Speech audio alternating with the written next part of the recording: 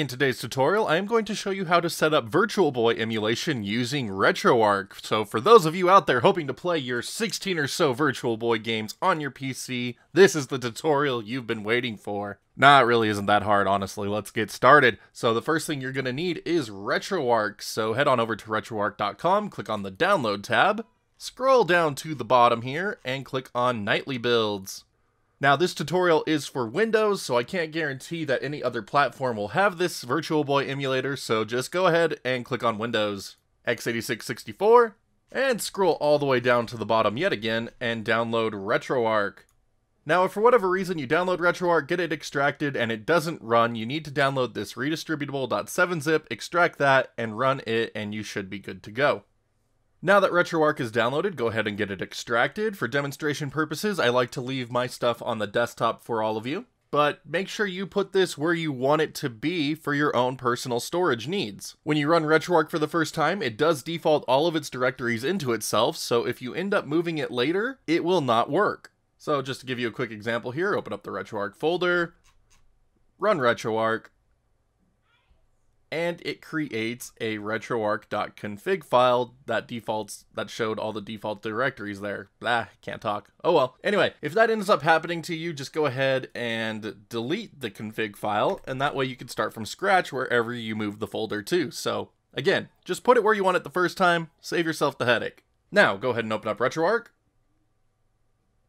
Press F on your keyboard to go into full screen mode. Now go over to Online Updater, Core Updater, and press right on your keyboard to go down to the Nintendo section, and we are looking for Virtual Boy, which is down at the bottom of the Nintendo list. So Nintendo Virtual Boy Beetle VB, the only option available for Virtual Boy.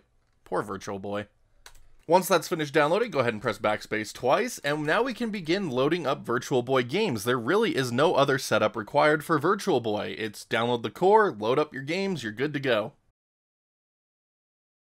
And there you have it. There is Virtual Boy up and running in RetroArch. There really is not much to this, like I said.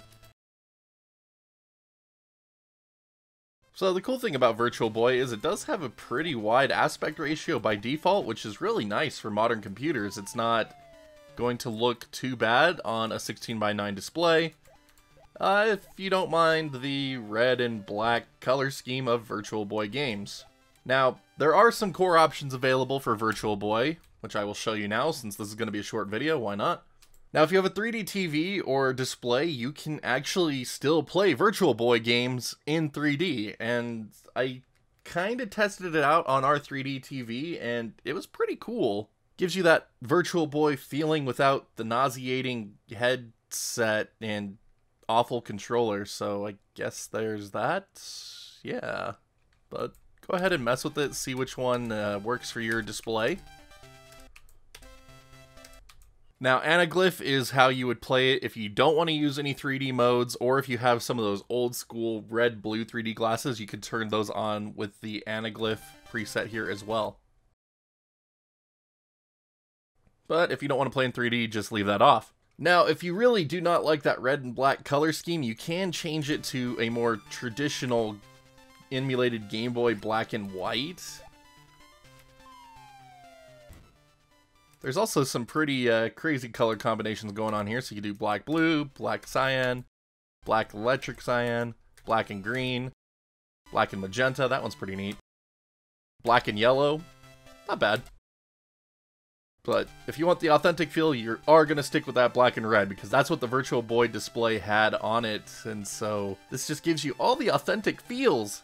Next up, if you have a controller plugged in, you can map the right analog stick to a D-pad if you want.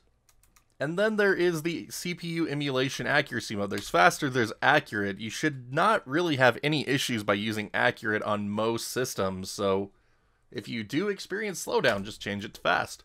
But that does it for core options. I don't believe there are any control options for Virtual Boy, so yep, nothing. It's, yeah, nothing. No, no special controllers for Virtual Boy required. So yeah, that is it as far as Virtual Boy is concerned. It's download and load up. So if that's all you're looking for, congrats, you are done with the video. For the rest of the video, I am just going to show you how to get a Virtual Boy playlist set up to include your Virtual Boy games in so you don't have to use the file browser to select them. So I'm just going to go ahead and close out of 3D Tetris here. And we're going to go down to the Show Desktop menu. Press OK over here. And now we're going to right click over in this white space here and hit new playlist. Now we're going to type in Nintendo space dash space Virtual Boy. And that gives us a Virtual Boy playlist complete with the Virtual Boy headset right here. How awesome is that? From here, you're going to right click in this space, add folder, and I have my game stored on the desktop, once again for demonstration purposes, but you're going to scroll to where you have your game stored, and I'm going to select my Virtual Boy games folder. For core, Beetle VB, database, Nintendo Virtual Boy. Okay.